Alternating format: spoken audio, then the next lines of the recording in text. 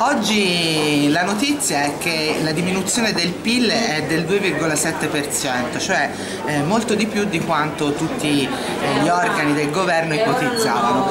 Questa è la dimostrazione del fallimento delle politiche che sono state fatte dal governo Monti, del fatto che con quelle politiche recessive abbiamo perso ricchezza, abbiamo perso posti di lavoro. Per questo è necessaria una svolta radicale, un cambiamento totale delle politiche economiche e del lavoro.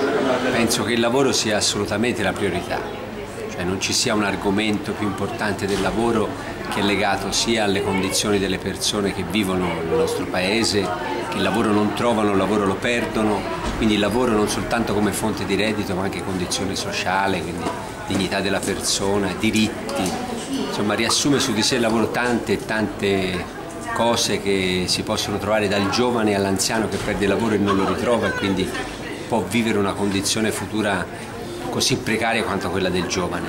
Penso che questo sia l'argomento su cui stasera discuteremo e penso che tutte le forze di sinistra, di centro-sinistra, cioè coloro che si propongono per il cambiamento devono avere l'ambizione di misurarsi su questo tema. Quindi penso che l'attitudine della CGL, questo lo, lo, penso davvero personalmente, debba essere un'attitudine unitaria, cioè a convincere tutte le forze che si candidano al cambiamento a lavorare insieme per proporre su questo tema, il tema del lavoro, davvero tutte le soluzioni possibili. Dalla crisi si esce rilanciando i diritti e la piena occupazione.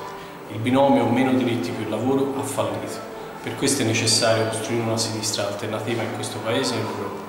Eh, questa iniziativa rientra nelle, discorso del lavoro, priorità al lavoro, abbiamo creato questo spazio democratico per far venire quasi tutte le più grandi RSU del comparto sestese e fiorentino e speriamo che questo dibattito sia produttivo e porti degli elementi di crescita sia al movimento sindacale che alla nostra lista.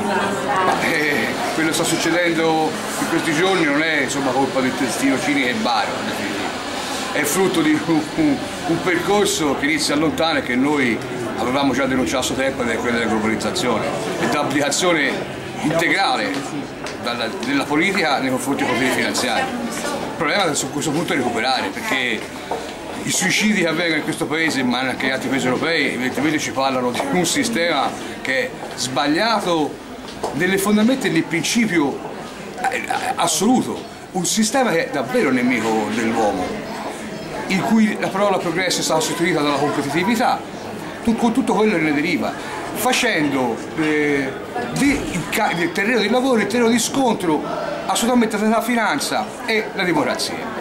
Questo è quello che stiamo vivendo oggi. Il problema è riusciremo a recuperarlo, se non lo facciamo, io ho paura che questo paese, insieme a tutti i paesi dell'area dell'euro, sprofondino e si salverà soltanto chi? Le economie forti in Nord Europa.